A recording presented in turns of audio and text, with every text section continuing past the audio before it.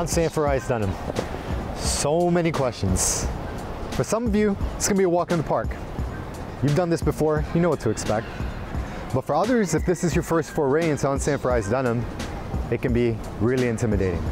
From sizing, fit, shrinkage, stretch, feel, there can be a lot of questions. So we want to be able to help you. Pick out the right size and pick out the right fit that's to be best for your body type. Come, let's talk about unsanforized denim. So let's chat shrink. Here's a pair of unsanforized denim. This is a pair we designed with samurai jeans called the Legacy. With shrinkage, there's going to be discrepancy depending on the temperature of the water that you soak it in and the duration that you soak it for. But by rule of thumb, you can expect about 10% of shrinkage once you've soaked a pair of unsanforized jeans. On average, expect to lose about a half inch in the front rise, a half inch in the back rise, and a half inch in the upper thigh. You will also lose about 0.4 of an inch in the knee and about 0.3 of an inch in the leg opening. The inseam will also shrink up to 2.5 inches in the length.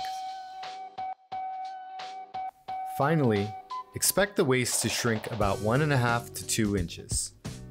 Of course, with the waist, they will stretch back out, oftentimes stretching back out to the original raw waist size. Set the temperature of the water to approximately 44 degrees Celsius.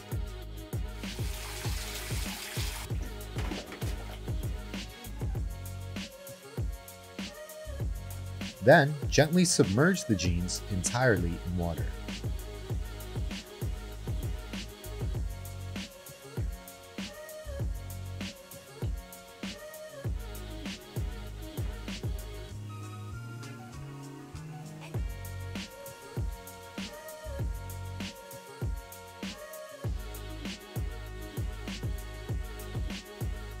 Place pet bottles or some other weighted object on top of the jeans to ensure they remain underwater. Feel free to carefully move the jeans around so as to gently agitate the fabric and maximize the penetration of the water.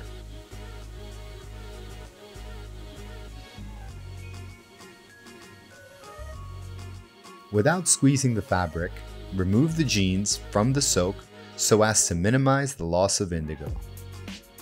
To avoid staining your bathtub with a permanent indigo ring, give the tub a good wash immediately after the soak. Carefully turn them inside out to minimize the loss of indigo during the drying process.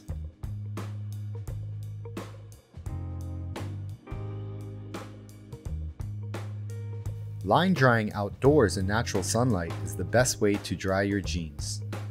Expect the line dry process to take at least 3 to 4 hours, so starting early in the day is advisable. Check the pocket bags or crotch area to ensure the entire pair is dry, as these are the areas of your jeans that will likely dry last. In terms of storage, the jeans should be hung from the belt loop.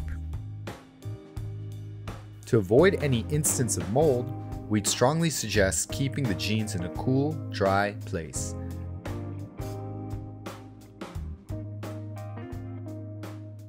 After that first soak, you probably want to wear your jeans as often as possible. In the event of an accident, like a spill or a stain, gently hand wash your jeans with a touch of detergent. Despite what you may have already read about raw denim, don't hesitate to wash your unsanforized jeans when necessary. If you're not sure, Ask a family member or a significant other. I know my wife doesn't hesitate to tell me when my jeans stink.